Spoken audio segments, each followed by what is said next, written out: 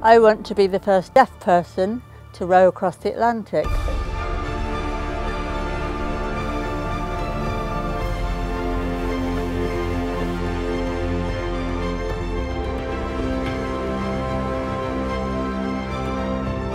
I want to show other people with hearing impairment that there is no reason whatsoever to stand back and not do the things they want to do.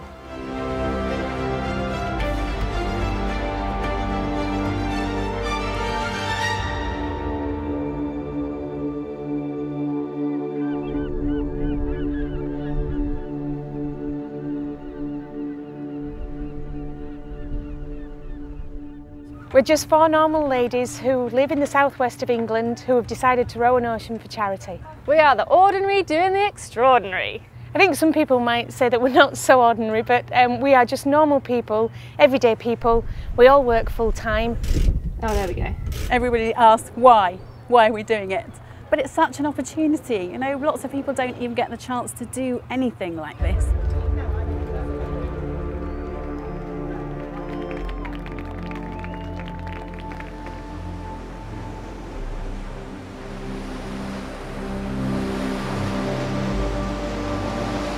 The thing that excites me the most about this challenge is that I'm going to spend 45-ish um, days on, on the boat with three amazing ladies. Obviously for the charities, definitely for the charities, so it's raising awareness of them and funds for them.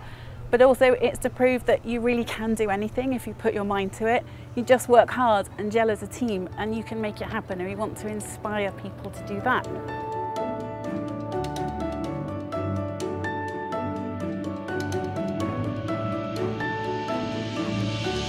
It's incredibly special to do something with my daughter.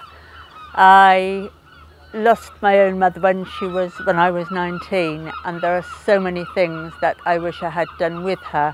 Mum contributes to our team as the key person really. It was her idea to do this. All of us adore my mum. Be more Mo! Mo is just an absolute inspiration every single day. There's nothing that she won't do. Her determination is unbelievable. Um, and there's just never a negative comment ever. She has a, a disability of having her hearing impairment. Um, it doesn't stop her from doing anything, which is great.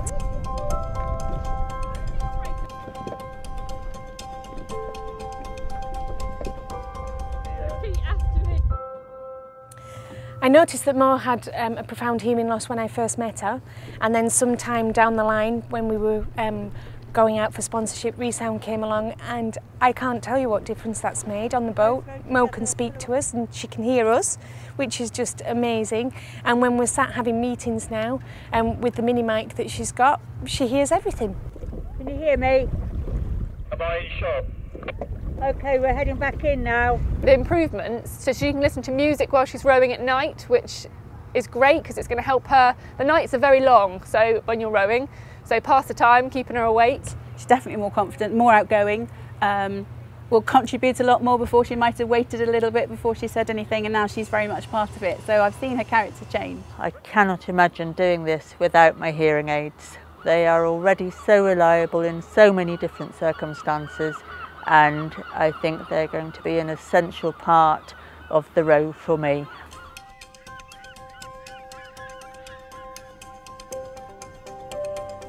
Liberty. This is our boat, this is our home for approximately 45 days and we row 3,000 miles across the Atlantic. So let me show you around. This is our stern cabin and this is where all our navigation kit is. So this is our bow cabin. Um, this is technically our beautiful bedroom. Food is in um, ration packs that we add hot water to. So we have a Jetboil, um, that's the only way of making hot water on the boat and we pour it into the packets and then you leave them for a few minutes and they go mushy and then you eat them. That makes me a little bit urgy. oh, I don't know, that's a big bit. Two, three. Oh, that's horrible. Not pleasant, but edible.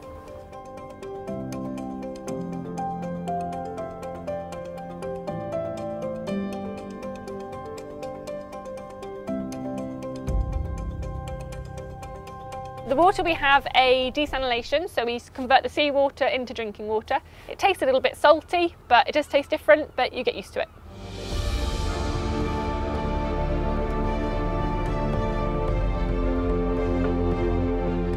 When we row across the Atlantic, we will row in two hour intervals. So two people will row for two hours and two people will be off for two hours.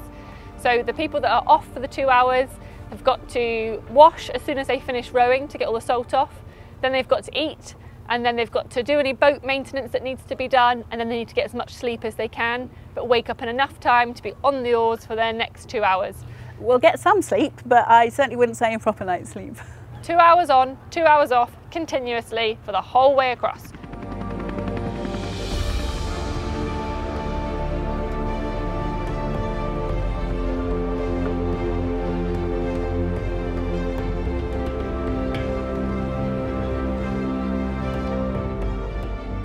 I think it'll be the start of something new, completely new in your life. I think it will be exceptionally emotional, um, if, especially if we come in on the 23rd of January, which would have been my dad's birthday, so that would be an exceptionally fitting tribute for me.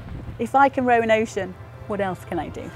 I think it's going to be such an emotional moment after being at sea for so long and finally coming in and having achieved our dream. Awesome, awesome!